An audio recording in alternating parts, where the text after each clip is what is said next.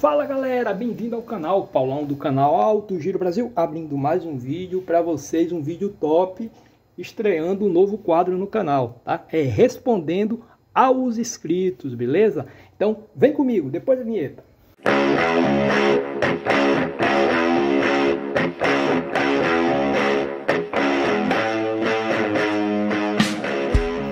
Galera, hoje está estreando um novo quadro tá, no canal, aonde eu vou explicar né, e até ensinar como consertar o defeito da sua Saara CB400, 450, da sua Falco, beleza? Hoje eu estou com um motorzão aqui de uma Falco, tá? E vou responder o Cláudio de Chapecó, Santa Catarina, beleza? Um salve a todo aí a galera de Santa Catarina, a galera do Paraná, Rio Grande do Sul, inclusive aí do Rio Grande do Sul, o canal do tio Cleison. Em breve a gente está fazendo em parceria aí umas live top Toda semana a gente vai fazer uma live top.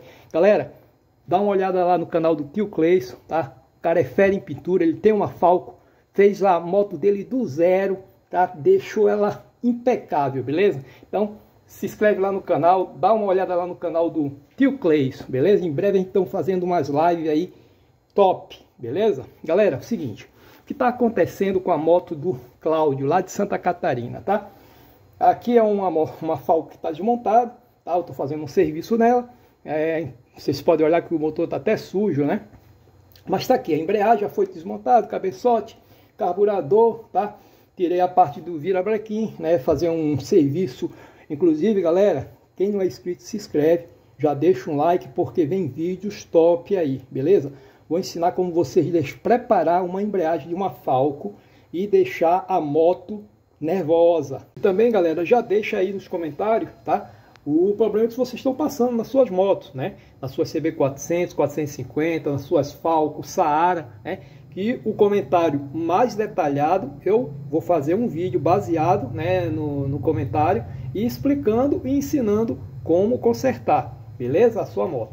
E também temos o curso, sempre está aqui na descrição, aqui embaixo, tá? E vai aparecer agora aqui na tela o WhatsApp tá? Do curso que a gente oferece via chamada de vídeo, presencial, tá? Aonde a gente ensina o próprio dono, né? Porque a gente hoje temos uma dificuldade muito grande é, de mecânico especializado nessas motos das antigas, né? Então a gente ensina a ele identificar o problema, tá? E a resolver o problema, beleza? Dá para fazer tudo, praticamente tudo. Desmontar até o motor inteiro, tudo via chamada de vídeo. A gente marca um horário, tá? É, que esteja conveniente para a pessoa, né? E a gente faz o diagnóstico e vê o que tem que ser feito, tá? Aplicar o torque correto, verificar as peças, sempre peças de boa qualidade ori ou originais, né? Que essas motos aqui, elas paralelas, essas motos não aceitam, beleza? Então é isso, vamos responder agora o Cláudio. Deixa eu tirar aqui a embreagem, tá? De Santa Catarina, Chapecó. Tirei aqui, tá. O que está acontecendo com ele? Tá? Ele deixou nos comentários aí que a moto dele, quando uma Falco 2007, tá? Quando ele aciona a embreagem, tá? E solta, a moto fica dando antes de completar o círculo, né? De, de soltar, é, antes dela passar a primeira e a moto fica dando uns pulos, tá? Então, o que acontece? Esse, esse problema, o que faz acontecer esse problema é justamente isso aqui.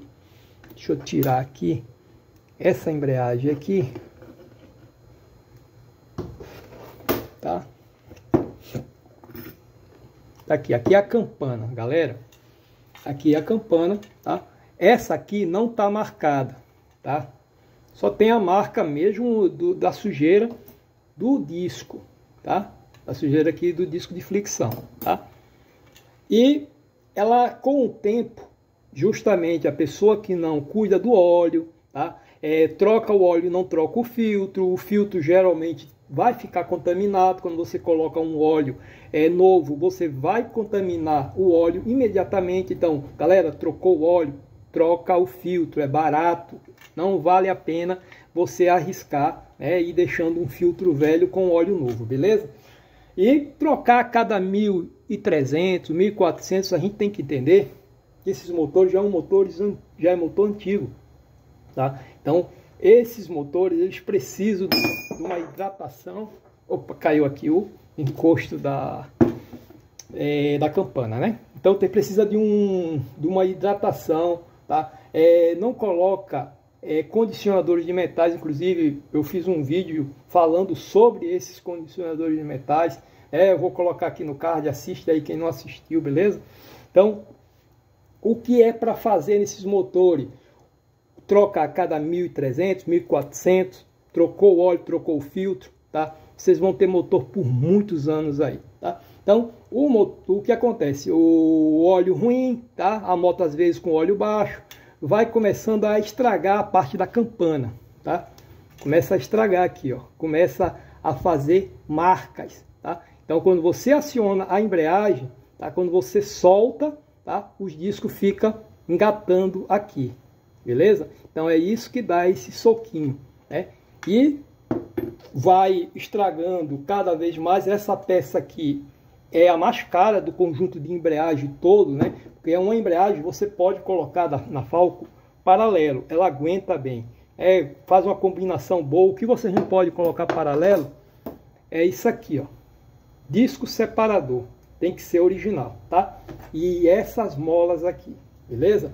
Então vou fazer um vídeo aí explicando como vocês preparar uma embreagem para durar muitos anos e deixar a moto sem nenhum tipo de patinação, né? Então já se inscreve aí, já deixa o like, beleza?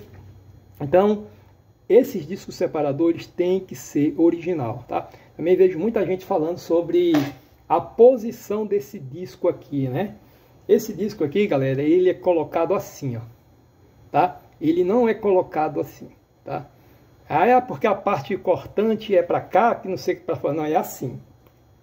Muitas falcos já de, apesar que não tem especificando no manual. Vocês podem procurar, vocês não vão ver especificando no manual né, a posição desse disco, desses discos separador. Tá? Mas muitas Falco eu desmontei, inclusive duas novas que eu tive, né, em, em uma em 99 e comprei em 99 e recebi ela em 2000. Desmontei a embreagem, ele estava dessa forma.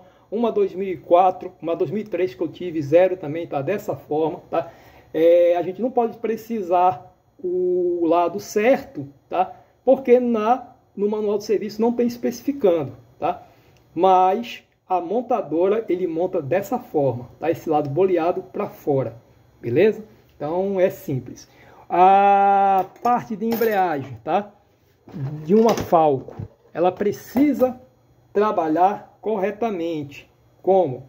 Com as molas, tá? o assento de mola, tá? E a mola Junker, que é essa daqui, mola cônica, tá? Que é justamente um amortecedor, né, que faz porque essa moto ela em baixa rotação, ela tem um torque muito forte, tá? Então isso aqui serve justamente para você não detonar a sua tá? embreagem. Então sempre mantenha a embreagem do jeito, né, original, com assento de mola, com a mola Junker com disco fino. Beleza, galera? Sem mistério nenhum, vocês vão ter uma embreagem por muito tempo. Então, no próximo vídeo aí, eu vou explicar para vocês como fazer, né? É, deixar essa embreagem aqui, sabe, nervosa. Deixar a moto mesmo nervosa e vai durar por muito tempo aí, beleza? Também vem um vídeo, galera, do radiador, tá? Tô vendo muita gente aí na internet fazendo, colocando da CB300, tá? O radiador da CB300 é, na Falco, tá? É, até a posição dele fica ruim, né? Porque a Falco ela tem o pneu 21, né? Então, até a posição que eu vejo na internet, se você frear, você vai topar com o radiador no pneu, né? No paralama da moto. Então, não é assim. É um radiador pequeno. Essas motos originais, né, que é o motor, né, original assim, o da onde vem esse motor, da XR400, ela tem um radiador de óleo, só que ela não tem o reservatório, tá? A Honda, o que, que a Honda fez? É, projetou esse motor para Falco e retirando o radiador de óleo e colocando esses reservatórios que não tem as aletas, ele não tem uma troca eficiente de calor. Né? Então você botando um radiador específico para Falco, então eu vou mostrar qual é o radiador. Não pode ter muita mangueira, tá? Porque você vai ter muito óleo saindo, tá? É, do motor, você tem que saber que tem o reservatório, né? Então, a CB300 ela não tem reservatório, então o óleo sai do motor, passa por o radiador e volta, né? A Falco, o que eles estão colocando? O radiador de CB300, o óleo sai do motor, o, o radiador da CB300 ele não é pequeno, né? Grande, tem aquele percurso, né? Imenso, né? Entra no reservatório, tá? E aí, olha o tempo de, de que o motor está fora. Esses motores, ele, que o óleo está fora, esse motor ele tem uma temperatura certa de trabalho. Entendeu? Aquele reservatório ali, ele tem uma engenharia, tá? Ah, o engenheiro da Honda, ele não botou por acaso aquilo ali. E não só é um engenheiro, um engenheiro se acorda de manhã e diz assim, olha, vou fazer daquele jeito. Não é assim, tá? Tem um estudo em cima disso aí. Tá? Então, você colocar um radiador grande, mais o reservatório, você está trazendo um problema sério né, de lubrificação para esse motor. Então tem que ter muito cuidado.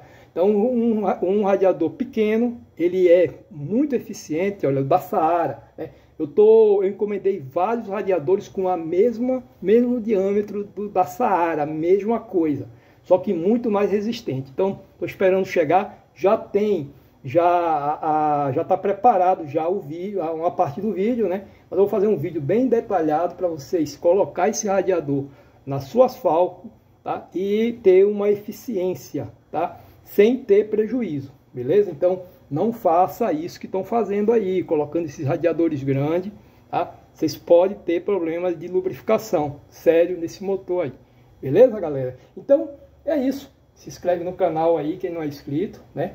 É, vem vídeos novos, legais aí para você, né? Vem a live aí com o canal do tio Cleison, né? Então, muita coisa boa aí no canal, beleza? Então, um salve a todos aí, o pessoal da Bahia, né, de Santa Catarina. Respondi o Cláudio agora, ele vai ficar contente, né? Por ele saber o que é está acontecendo na moto dele, dando esses pulinhos, né? E o pessoal lá de Natal, Rio Grande do Norte, um salve aí pro João Paulo, né? É, João Paulo, ele é um aluno, né, que está hoje, uma 2014 a moto dele, né, estou esperando chegar umas peças que ele vai mandar de Natal, né, é, Rio Grande do Norte, para mim, é, umas peças da moto dele, ele comprou uma moto bonita tal, mas ele quer deixar ela impecável, porque ele quer ela por toda a vida dele, né, é, os amantes de Falco, geralmente, eles são assim, eu sou um, tá, passei um bom tempo sem Falco, já tive cinco Falco com essa minha agora, né, que eu peguei a há quatro anos atrás, fazia muito tempo que eu não estava, é, possuía Falco, né? Já tinha tido quatro, procurava uma perfeita e não encontrava. E essa minha aí Deus me mandou e eu vou ficar com ela para minha velhice, tá? A minha moto que eu adoro, beleza? Então, o que o João Paulo está fazendo? Está deixando a moto dele impecável, né? Como o Cleison também, o Cleison está deixando a moto dele impecável. O Davi, de Belo Horizonte, também aluno, todos eles são alunos meus, né? Que estão deixando as suas Falco padrão, beleza? Então, quem tiver problema com as suas Falco, com as suas Saara, em, é, CP400, 450, procura aí a gente, que hoje a tecnologia faz, né? A gente se aproximar, chegar, verificar e consertar, beleza? Seja em qualquer lugar do mundo, né? Inclusive tem muitos inscritos aí da, da Colômbia, tá? Galera do Chile, de, da Argentina, né? Que tem Falco de Portugal também. Tem o Cláudio, não engano, o cara, o Cláudio, né, que procurou um tempo aí. Ele tem uma, tinha uma 2005 lá em Portugal. Lá em Portugal, peças muito difíceis essas motos, porque dependendo de cada país, né, eles não tem mecânico, é troca peça mesmo, entendeu?